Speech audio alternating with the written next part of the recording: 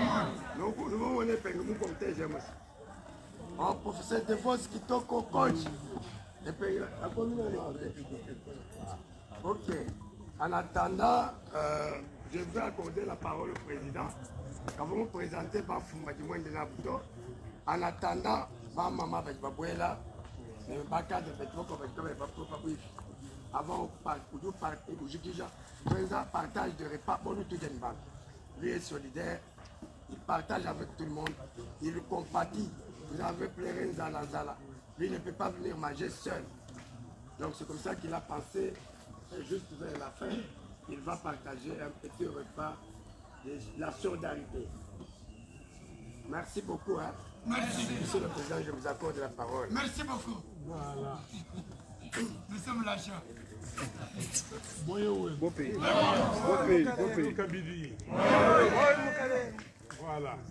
Alors, euh, papa Eli Mputu alobi na présente équipe oyo eza na ngai tokobanda mpona na ligue malembe eye boye ti moko na moko akotelemaoki komona ye alobi asalaka nini ya lingobo toza na C'est monsieur. C'est toi qui as dit comme ça. Allez, dehors.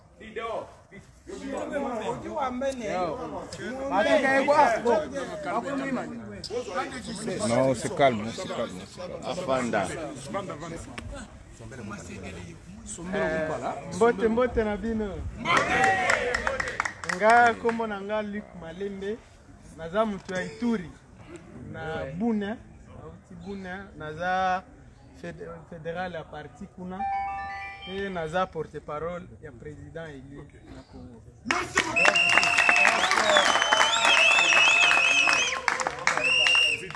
moyo ok koma na nga serge sefu naza cadre ya parti ya ecd na niveau ya kinshasa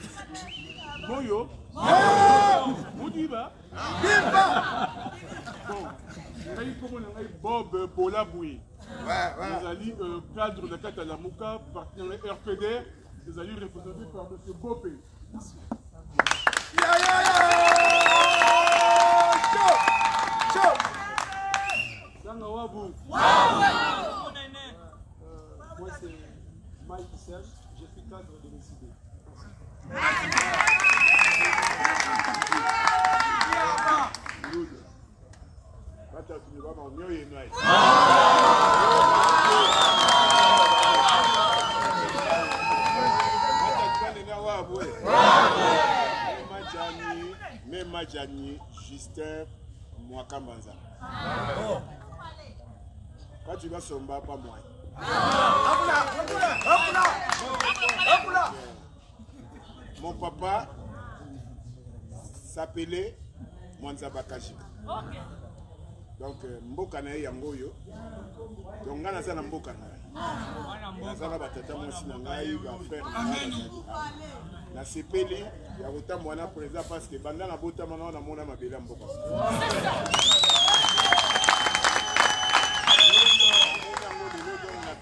bandeko na ngai nyonso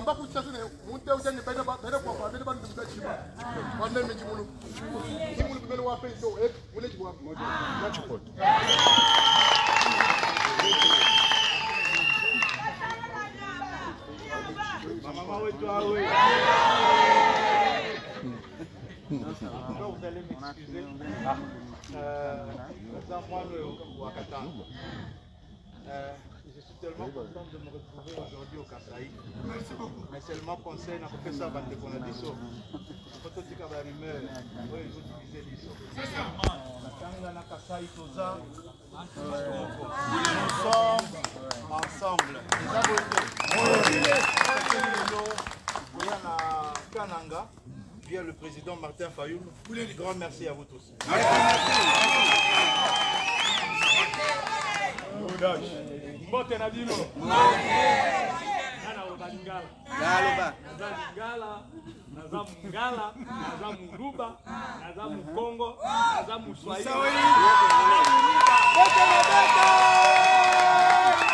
Bref, naza congolais. D'accord. Ah, naza na esengo ya kozala na kananga na mboka na ngai Congo. Naza mwana ya Equateur na province ya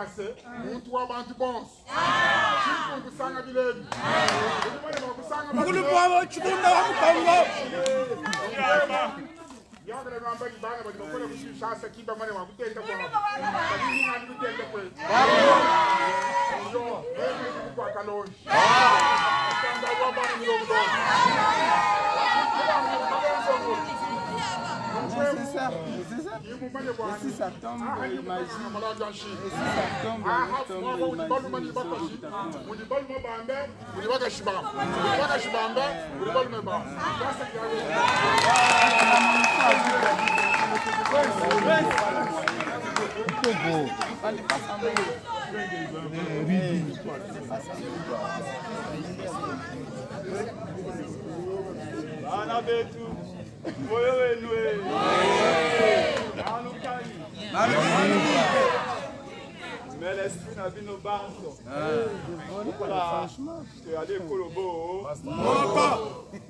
kasi tolingi kolakisa ete unité dans la diversité bandeko mosusu baobi tosangani awa boye Kananga esika esengaki ezala capitale ya Congo mobimba boyebi yango toyebi donc ezali esika oyo soki oye awa okosesentir epai na yo ngai ah, ah eh, nayei awa bandeko mosusu babi bauti katanga bamosusu bauti équateur bamosusu bauti kisasa bamosusu bauti maniema nord kivu sud kivu Eh, province orientale ngai nabosami na lodja awa mpe yali mabele na nga bandeko na nga bakoli ebele awa awa nazali vraiment lokola na kati ya lodja nasepeli ndenge boyambi biso na mokonzi ya mboka ya solo moto okoloki martin fayu mais lesi parce que fierté oyo nazwi lelo kobanda aéroport natali bandeko na ngai lolenge basekisi biso balobi na biso balobi tokomona mpasi Tolingi mokonzi akoya lobi aya kobongisela biso kananga. Ezali esengo to esengo te? Esengo. Message ye wana biso baye toyali na nsima ya mwana mboka Martin Fayulu tokomi yango. Dès que lobi bokosala ye confiance akomi na ebonga ye wana tokorapele ye mars olakaka na mama ya kananga na bilenge ya kananga na betidi ya kananga mwaya bosana ekozala bokotosi biso mpo ete mboka oyo ebonga lobi tolembi baye oyo bayi bambalanga leta me nakotuna bino motuna obe moko eske ezali normal moto ayibi mbongo na bino na programe ya 100 jours akoti boloko babimisa ye hmm. akoma lisusu ministre bondimaki yango yango yango abandi koya abandi kokabela bino 2000 francs 2000 francs adiwo bote ye bokondima kobote ye papa etienne tshisekedi wa mulumba mpe asona malobaka ete mboka oyo ekufi likolo ya nini moyibi yango tolingi makambo ya kimoyibi asalanga leta na regime ya fayulu abo natondi bino botondi nzambe abatela bino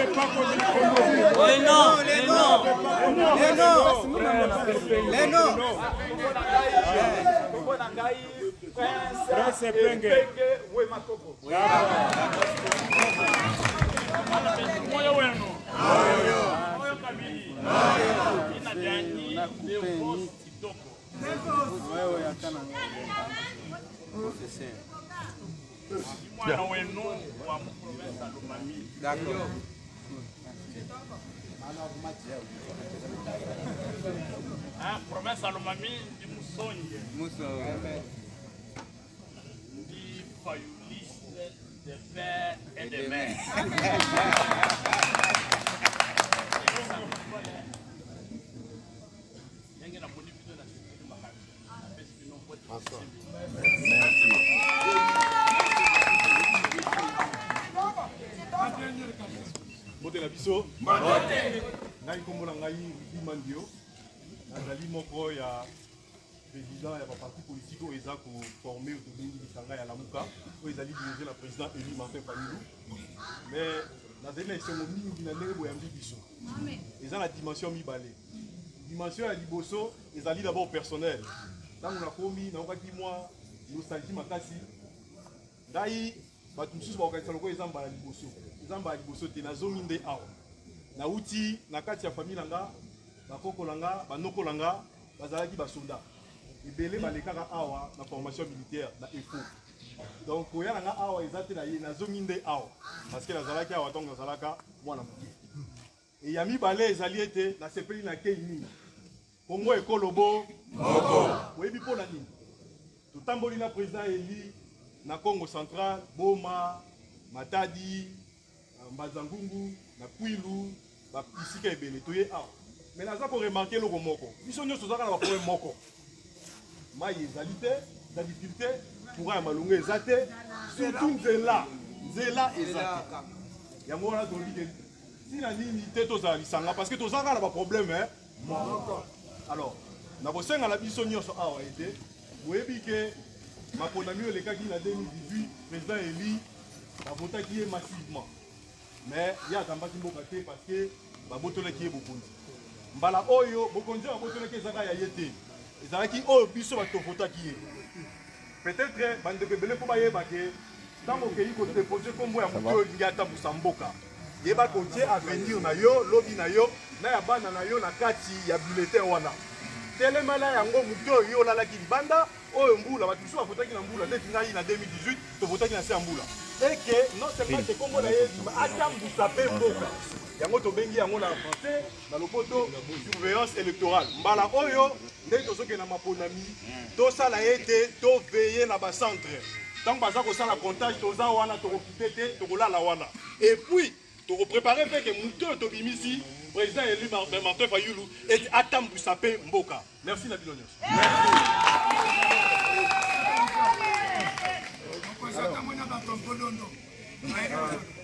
nasalaki effort mpo nazala moto ya suka nkombo na ngai leki kende nazali cadre ya eside ndenge nazala moto asuka parceke lelo eza moi eza makasi eza klima ya malamu boyambi biso malamu ndenge nayebisa bino nasenga bino permission na bino mpo lelo na 5 heures tobungisi général moko ya monene ya martin fai nkombo na ye serge wele soki azalaki na biso soki azalaki ameme bomona ye azalaki engambe mobundi monene mpo na congo nakosenga bino nyonso totelema ata une minute mpo na servele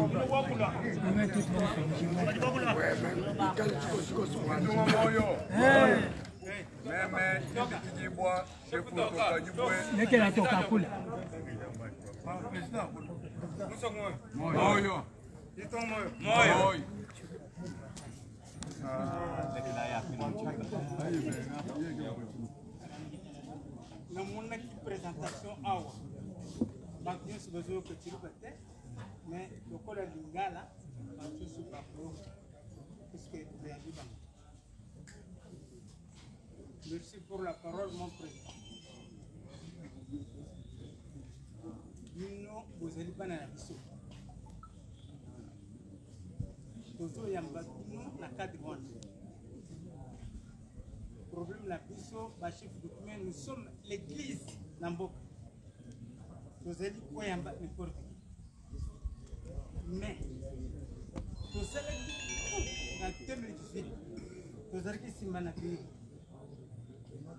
bomonaki bino nyonso ndenge elekaka mais lelo 5 ans ngai nazali responsable ya chute katene puiske kasai oyo central ezali na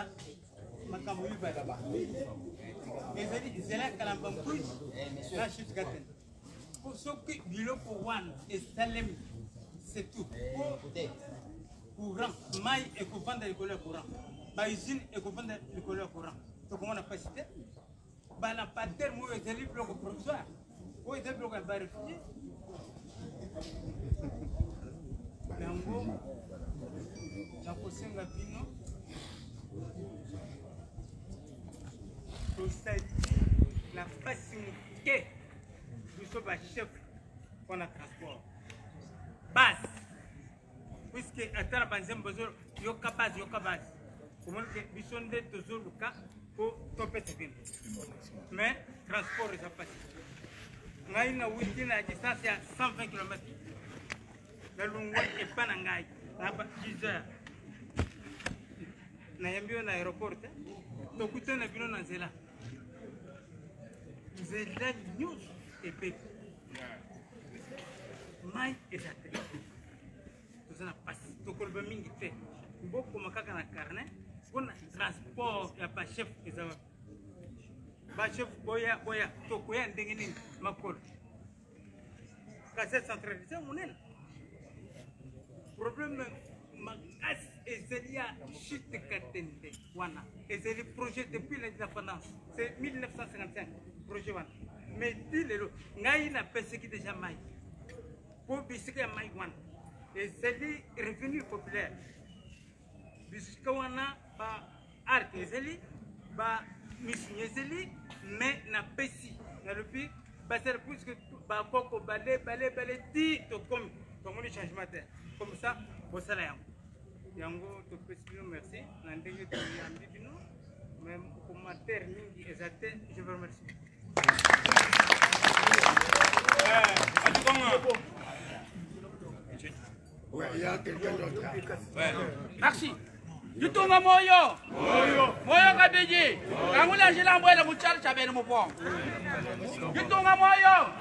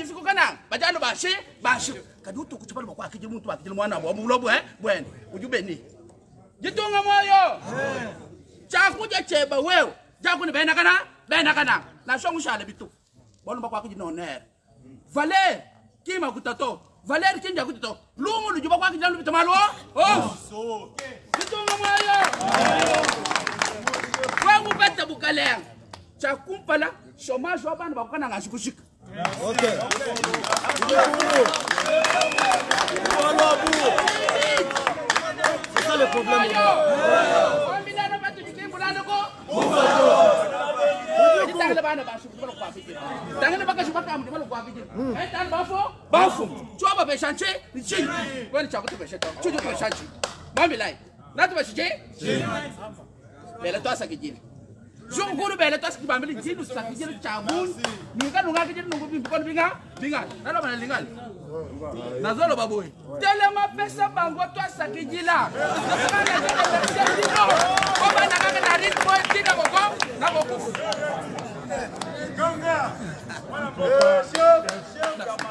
bachef naleki bino ah. nasepeli mingi ndenge namoni bino awa bowuti bamboka boye bokomi ndenge chef alobi mpasi mpo na kokoma awa transport ezali te bino moko boyebi ndenge mboka na biso ezalaka kala mhm.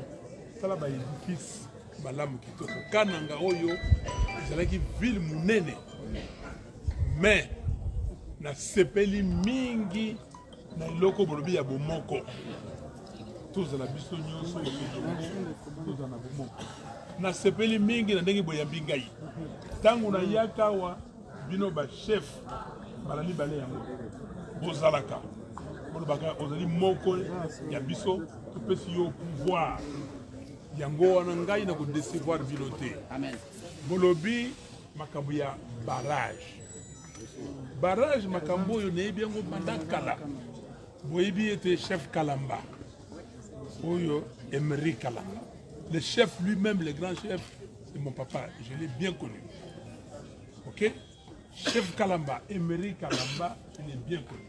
Clément Kalamba, je l'ai bien connu. Donc Kananga Oyo, Toyebi. Makambo Oyo, il y a barrage Wana. Et Banda Kalamba, Neyebi Yango bien parce que tango nayi kosolo na Emery Kalamba, bazali kolandela makambo wana. Mais ti lelo oyo eloko moko ezali te.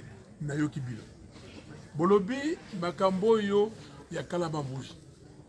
nzela wana ezali eloko moko ezomonana te mais ndenge bolobi nakoma nakomi yango napesi bino mokanda wana oyo babengi manifeste ntango bokotanga yango bokomona makambo oyo tolingi mpo na congo mpo lobi congo etelema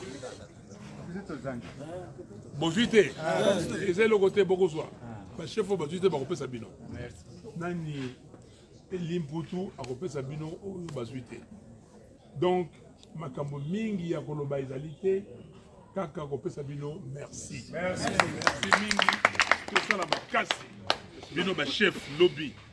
Pouvoir na bino ezala mpenza pouvoir oyo makambo te l'État aya akotisa trouble na kati na bino. Okay. Pouvoir emonana. Parce que na ba mboka mususu pouvoir ya l'État epesaka pe ba chef alobi que par exemple makambo état civil bapesi bino yango pona kotala yango et chaque sanza ba chef bazali na mwa eloko pona ko na administration na bango merci mingi mingi ya koloba Yaka.